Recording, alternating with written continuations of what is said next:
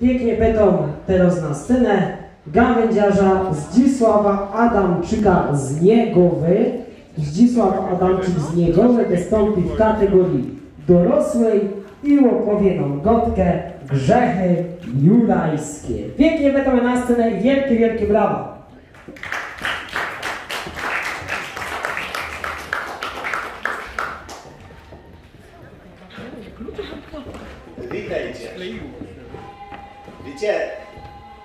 W kole mojej chałupy na Jurze pobudowali się takie miastowe. Taki się domek pobudowali, no i przyjeżdżają tam na weekendę.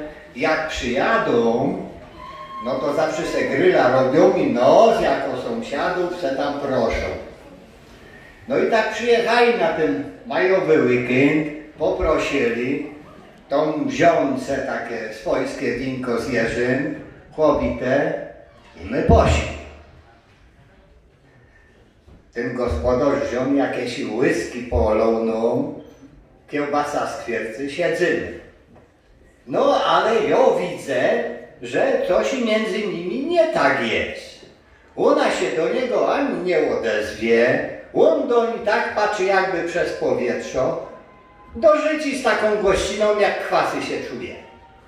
No to pytam się, jak my nie w porę, bo wy takie markotne, to pójdziemy se. Ale nie, skądże znowu poproszę mi, proszę bardzo, to są takie małżeńskie nieporozumienia. Mówię, jak to takie małe są, no to może my z kobietą, takie bezstronne ludzie, to rozsądzimy, jak to, broń Boże, jakie intymne sprawy nie są. A jakie tam intymne, kobiecina mówi. Kupiłam sekieckę na wyprzedaży, przyszedłem do domu, jaką mi awanturę zrobił, jakby mu pół majątku przepuściła. A jak on do auta coś jakieś kupuje cuda, jemu nie wyliczą. Bo ja kupuję to, co trzeba. A ty, bo okazja była. Kupiłam to, co trzeba, bo nago lotać nie będę. Cichajcie, cichajcie, słowa mówię. Zaro się rzec rozsądzi. Mówię do niego, powiedz no mi chłopie kochany, chrześcijan ty żeś, czy jaki inny wiary? No chrześcijan, że jest. Przecie do kościoła chodzę, chrzest wziunym, no to jakieś chrześcijan, no to musisz wiedzieć, że w tym temacie zdania racji to ty nie możesz.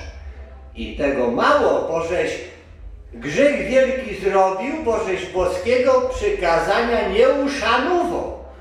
Co to za głupoty? I o dziesięć przykazań zną, tam nic takiego nie ma. A nie ma, w przykazaniach nie ma, bo to Pan Bóg wcześniej opublikował. A nie będzie jednego tego samego po pięć razy trąbił. To Bóg jest, to rozpowie święte ma być. Zapamiętaj se. Ale przecie ja w kościele jestem i o czymś takim też nie słyszałem. He, słyszałeś, ty słyszał.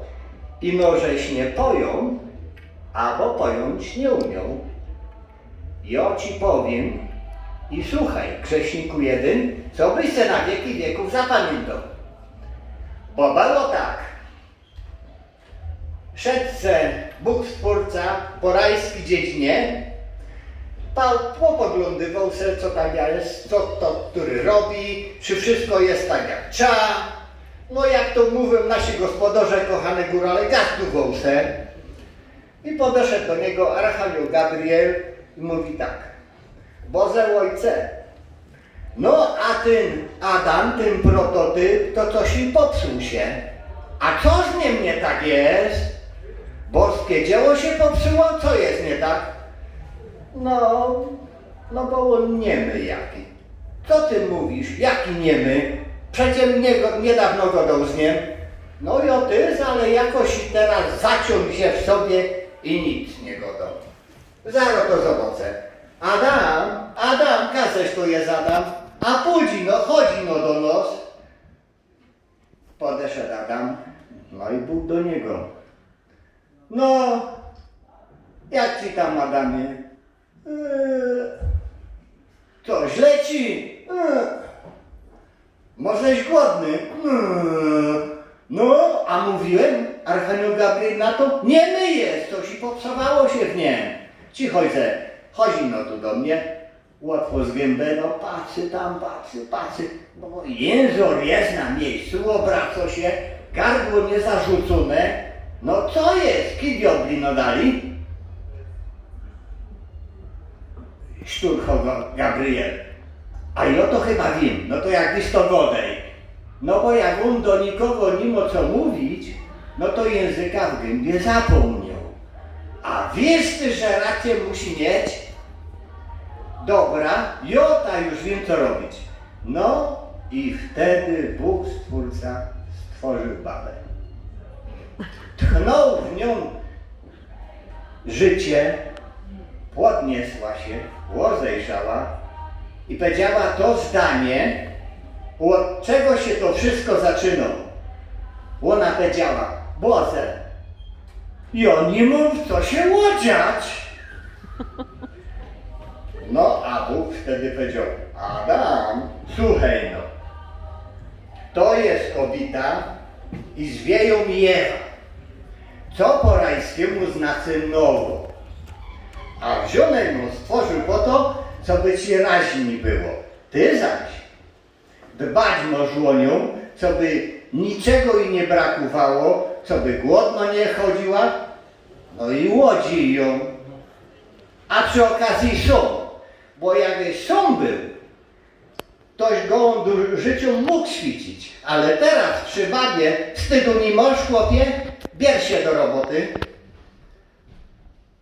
Ale Adam na to, ale, ale, w co ją mu łodziać? Eee, gołą babę zobaczy, już przemówi, patrzcie się ludzie, pierwszy cud. Kombinuj, dołęciłek, to kombinuj. I Bóg se poszedł. Adam wziął się, rozejrzał, liściów z figowego drzewa narwał i Ewie podaje i mówi, moż, łodzij się. I tym to gestem uszanował wolę boską i na cały chłopski ród ten obowiązek łodziewania niewiasty przyjął. Tak to było. A sąsiadka mówi, a co, a co dalej było? A co tam było dalej? A moja też, a powiedz, powiedz, dokończ, dokończ. Nie bardzo to lubię kończyć, bo to nie za bardzo dla chłopów jest. No ale jak się napierają, no to mówię tak. No, no, no to, to dali, to było tak, że Ewa jakoś się połopinała tym liściory, popatrzyła się po Adamie i mówi, narwał tych liściów jak głupek jaki, a to co on ma, to wystarczyłoby jedno spożywki, żeby zakryć. Bo to, bo to wiecie, chodziło o to, że kobieta ma więcej tych tych y, miejsc do okrycia, bez to więcej materiału na to trzeba. Bez to droższe to jest. I tylko o to chodzi, a nie jak tam, że prawo i cię zadał, Adam miał tego mniej albo więcej. Całkiem nie o to chodzi.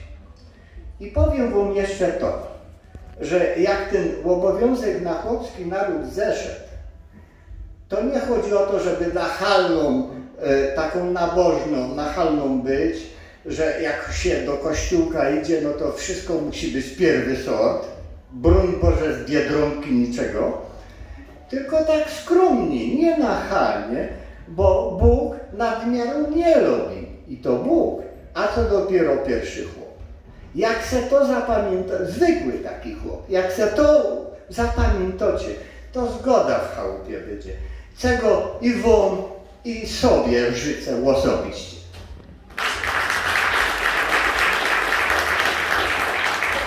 Za piękne, dziękujemy panu Zdzisławowi Adamczykowi. Jeszcze raz wielkie, wielkie brawa, przyklaśnijcie. A my to teraz na